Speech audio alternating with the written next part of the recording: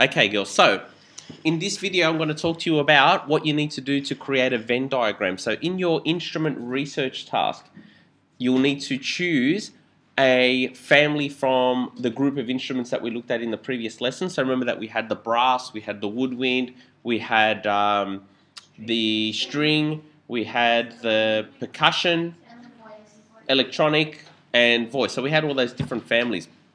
And you needed to choose.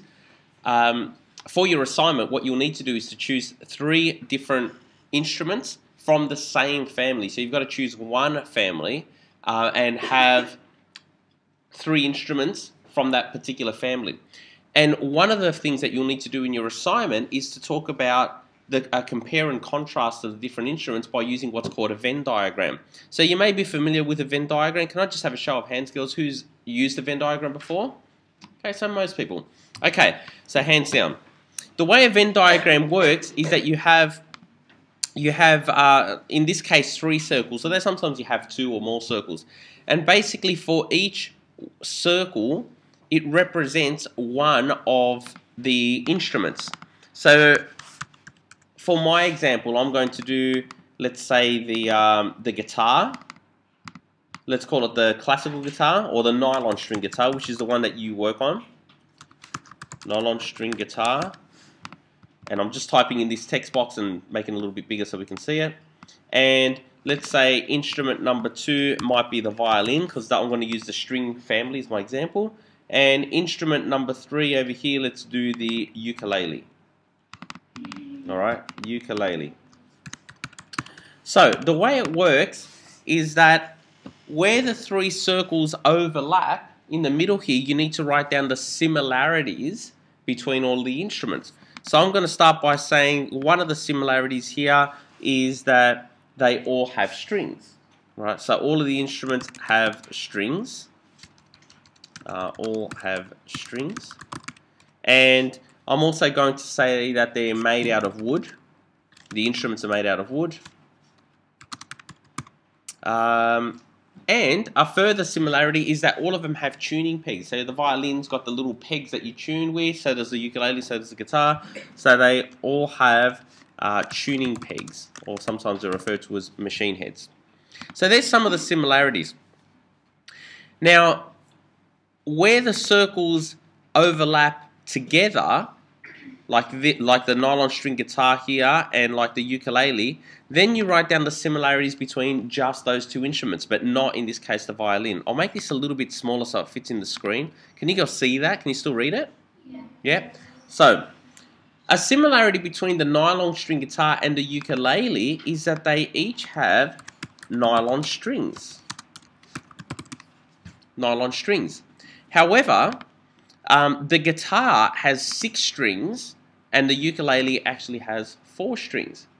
All right, so how many strings does a violin have? It has four as well. So that's a similarity between the ukulele and the violin. So I'm going to say that they have four strings because that's common to the violin and to the ukulele. The guitar, however, only has six strings.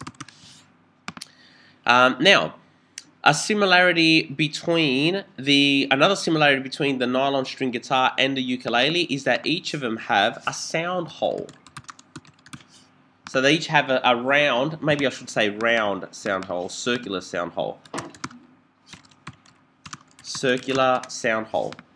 Whereas something that's unique to the violin is that instead of having holes, it has those F holes. So instead of it having a circle in the middle, it's actually got what they call F holes. So I'm going to say F uh, holes. Does that make sense, girls? Yeah. So what you do is that you choose your three instruments and you um, you start to make a comparison and contrast. Now, you need to provide more uh, more detail than what I'm putting in at the moment. The more detail you put, the better your Venn diagram shows a comparison of each of the instruments. But to recap, each circle represents a um, aspect of uh, one of the instruments, sorry, and then for each of these areas where they overlap, you write the similarities between those two instruments, and in the middle, you write the similarities between all three instruments. Now, for our assignment, you're going to do this using Microsoft Word because it allows us to use what they call text boxes, which are these little boxes, and it lets us put circles and it lets us write and all that kind of stuff. It's harder to do that in Google um, Docs, which is where you're going to do your assignment. So what you'll need to do is that later on I'll put this as a template on Edmodo, and once you've done your Venn diagram and you finished it, what you then need to do is effectively take a photo of the screen to take the photo off the screen, you need to, the shortcut for it is Command, Shift, and the number 4. Right, so on the keyboard you press Command, Shift, and number 4. This only works on the Macs. On the PCs it's a slightly different. I think you need to, well I can't remember off the top of my head.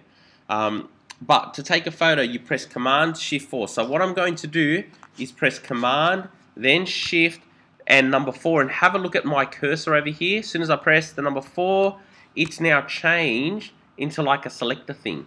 So what I'm going to do is drag over the top of this and it's going to take a photo. Okay? And it takes a photo and it puts it on the desktop. So over here it says screenshot of my um, Venn diagram. Once you've done that, you then copy this onto your assignment and that's how you get your picture of your Venn diagram into your assignment. Yes?